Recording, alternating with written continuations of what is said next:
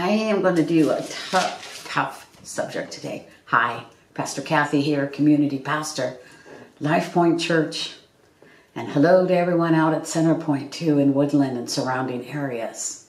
I want to talk about grief. I've actually been fighting this particular little devotion for uh, four or five days because when someone passes away in our church family, it affects all of us and here at LifePointe, within a week's time, we had two that just passed away, went went on, Lord, and uh, we're not exactly sure why. It's hard to understand. In John 11 35, there are two words that are in there. It's known as the shortest scripture. Jesus wept period. Innocence.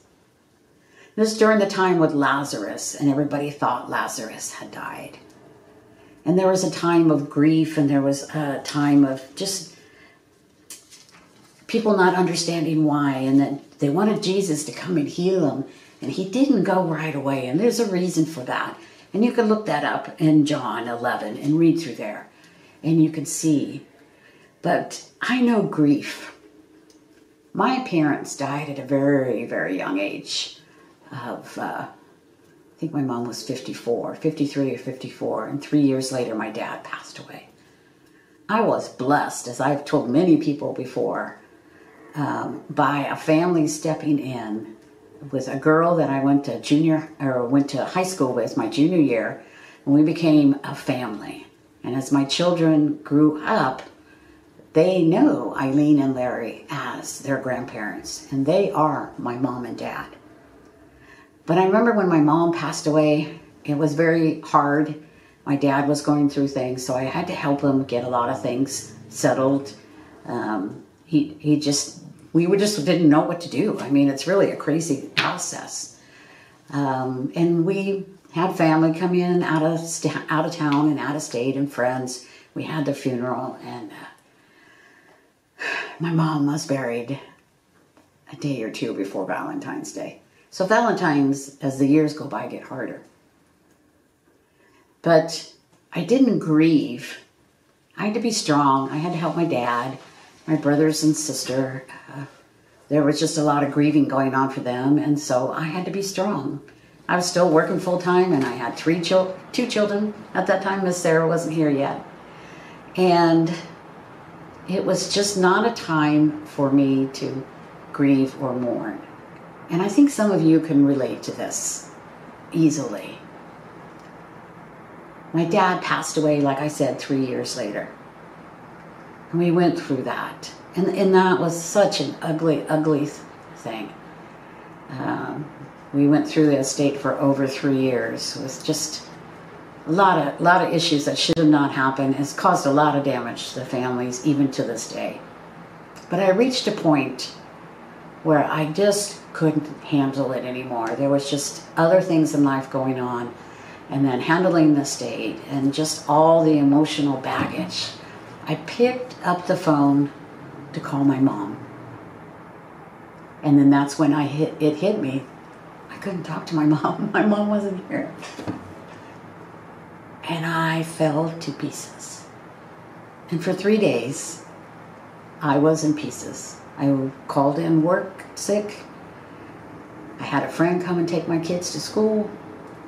And I went from the bed to the couch and back to the bed for three days. But I needed to grieve, and that was my grieving process. We need to let grief happen to each person at their own pace we can't tell somebody, you know, well, it's been 30 days, it's been six months, it's been a year. That doesn't make a difference. It really doesn't make a difference. And those old sweet words of uh, God builds beauty from ashes, He's in a better place, she's in a better place, no longer suffering.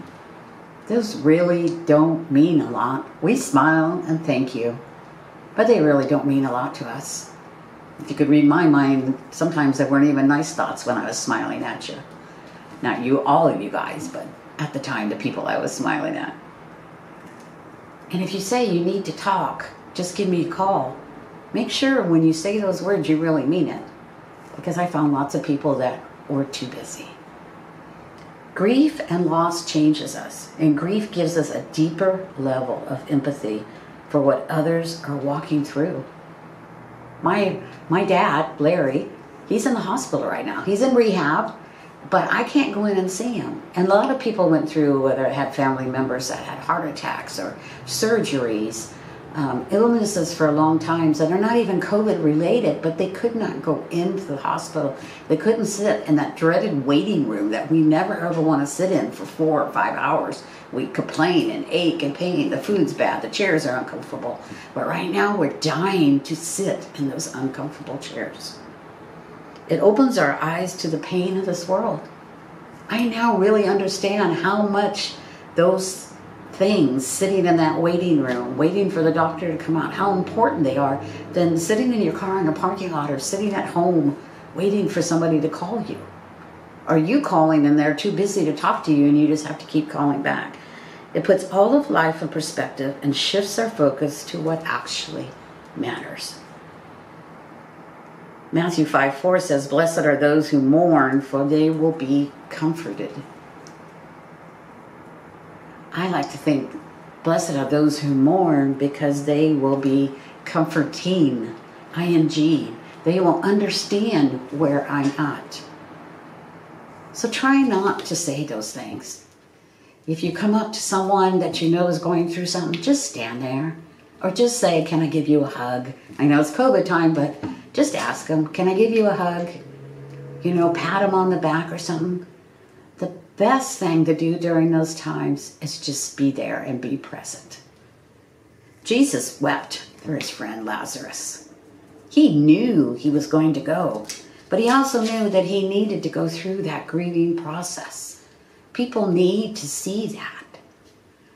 You know, we talk about God being a magic genie and magician and whatever name you want to put on him sometimes that he will heal because I prayed and his promises say but sometimes it doesn't happen that way. Just watch what you're doing. Just love on people. And sometimes love is nothing else but sitting in a chair next to the person, being still and not saying anything else. Let's pray.